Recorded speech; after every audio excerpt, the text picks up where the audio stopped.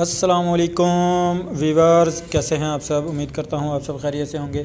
जी, मैं अपने तमाम किसान भाइयों के लिए जो आज ट्रैक्टर लेकर आया हूँ, वो है 2016 मॉडल 260 मैसी फर्गोसन वालों का। टोटल जनवन कंडीशन में टायर आप चेक कर लें। टोटल जनवन है टायर इसके जो हैं, वो भी जनवन हैं। जी कैश के पेपर हैं, इसके हुक लगी हुई है, एक ज़बरदस्त। इसके पीछे ग्यारह फाड़ी हल भी है। जो कि वीडियो में नहीं बना सका। ज़बरदस्त कंडीशन में ग्यारह फाड़ी हल भी साथ मिलेगी।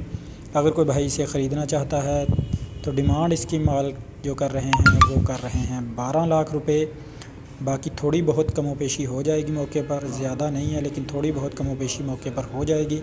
बाकी ये चौक वाला ट्रैक्टर है। जी, आप चेक कर लें। जैनवन कंडीशन में है और कैश के ओपन पेपर बने हुए हैं इसके।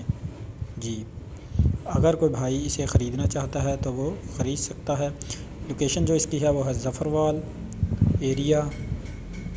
और बाकी जो नंबर है, वो मैंने स्क्रीन पर दे दिया है।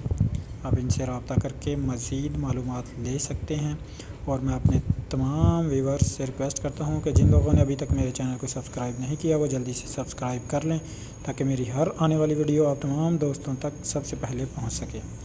जी, दूसरा ट्रैक्टर है 240 2007 मॉडल। जी, छत हुक लगी हुई है।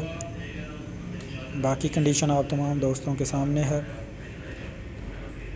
जी, ये चेक कर लें, आधे से ज़्यादा टायर हैं इसके और जैनवन है।